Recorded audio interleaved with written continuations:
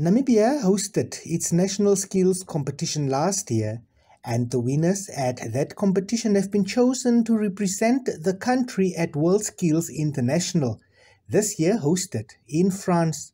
Fashion technology is one of the skills being displayed, and Beata Shinana from Namibia is an expert in this field.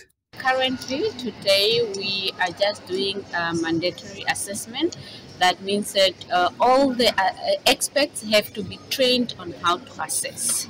So, and then there is examples of uh, what we should assess and the activity that is done already, and then you are given assessment form to do. So, um, for tomorrow is a familiarization day. That means that the, the competitors are coming on site so that they can uh, be shown how to use the equipment and then they just um, start practicing for six hours so they can get used to the uh, machinery that they need to use.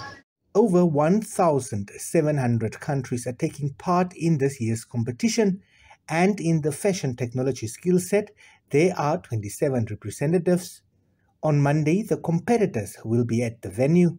Shinana explains what is expected. We have four modules. Now, um, the four, the first module uh, is draping. I might not say but the first module is draping. Now, draping, that means that they need to make a dress, but on the mannequin. Without stitching, you are only pinning. Then the second module is pattern making. Uh, that means that they have to make a pattern because in fashion you cannot make a garment without making a pattern. So it's a starting block for the construction. Then the second module is sketching. Every design a designer need a sketch. You need to have a design where you need to start from. So they will do sketching and then the last one is construction. Now in construction they have to make four um, two garments sorry. They will make a dress and then they'll make a top for a limited number of hours. Um, then there's um, certain um,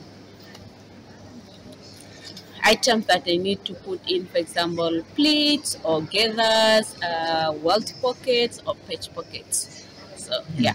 World Skills provides a platform for the vocational talents to flourish, creating a global network of dedicated professionals passionate about what they do the competition will officially start on September the 10th until September the 15th. Emil Sebeb, NBC News, Lyon, France.